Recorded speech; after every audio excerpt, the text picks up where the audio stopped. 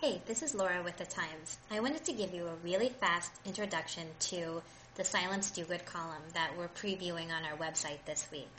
Because this is the last column, we're giving our readers an online sneak peek.